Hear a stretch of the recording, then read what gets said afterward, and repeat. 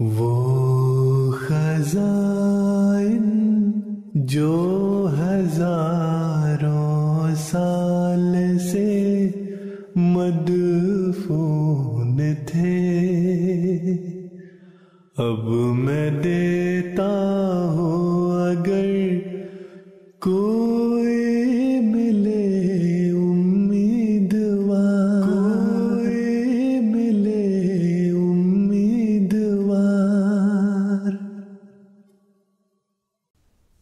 औज़बिल्लिमिनशैतानरजीम बिसमीम मलफूज़ात सैदना हज़रत अकदस मसीह माऊद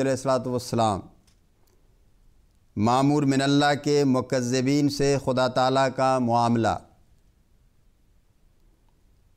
हज़रत अकदस मसीह माऊद वसलाम फरमाते हैं मामूर मिनल्ला की सोहबत में रहने वाले लोग बहुत कुछ फ़ायदा उठाते हैं और एक हद तक इल्म सही इस ताल्लुक़ के मुतालिक जो मामूर मिनल्ला और ख़ुदा ताला में होता है, हासिल करते हैं।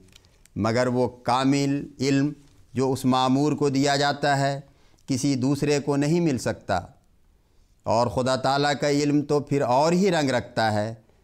जब मामूर की तकजीब और इनकार हद से पहुँच जाता है तो फिर ठीक इसी तरह, जैसे ज़मींदार जब फ़सल पक जाती है तो उसके काटने के वास्ते द्रांति को दुरुस्त करता है।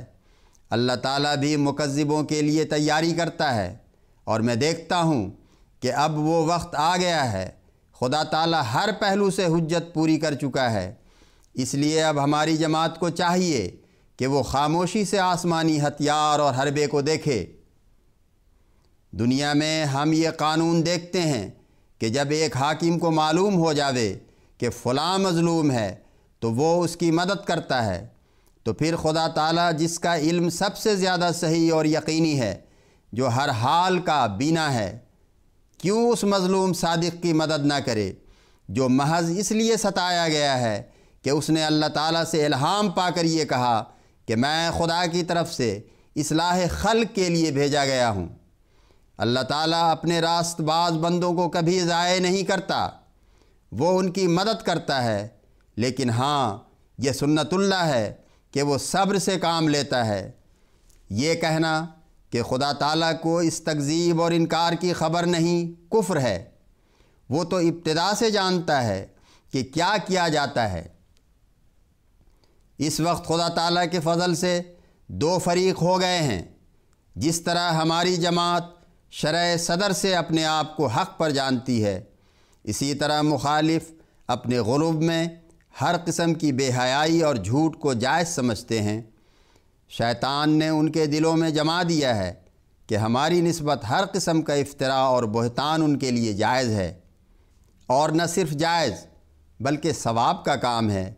इसलिए अब ज़रूरी है कि हम अपनी कोशिशों को उनके मुकाबले में बिल्कुल छोड़ दें और ख़ुदा ताला के फ़ैसला पर निगाह करें। जिस कदर वक्त उनकी बेहूदगियों और गालियों की तरफ़ तवज्जो करने में ज़ाय करें। बेहतर है कि वही वक्त इस्तफ़ार और दुआओं के लिए दें। अल्लाह सल महमद वाल महमद वबारक बारिक वसलम इन्ना का हमीद मजीद।